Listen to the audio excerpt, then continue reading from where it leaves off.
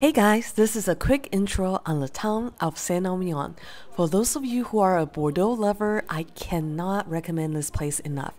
Saint-Emilion is located on the right bank of the Dordogne River, a much smaller town compared to the city of Bordeaux and has lots of history and charm. The town is a UNESCO World Heritage Site and roughly only 10 square miles in size. Here's just to show you an aerial view of the entire town from a photo taken by Chen Shiyuan from Wikipedia.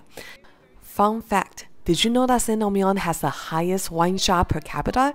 There are around 50 wine shops for this tiny town of 1,800 people.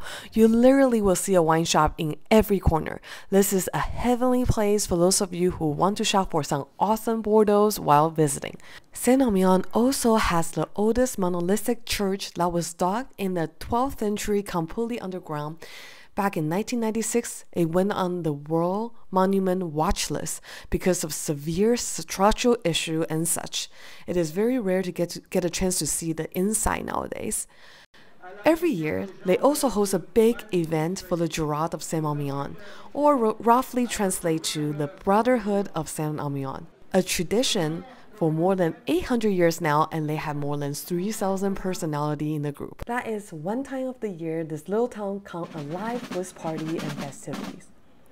Oh, and lastly, if you're here, be sure to try the local dessert, the canelé. The story behind this dessert is that because it takes so much egg white to filter the wine during the winemaking process, they have all the excess egg yolk. So some smart pastry chef turn it into this delicious treat and they become the famous dessert of Bordeaux. They come in many different sizes and is absolutely yum. I hope you enjoyed this quick intro on the town of Saint-Emilion. What do you think? Would you put this on your list to visit in the future? Let me know in your comments below.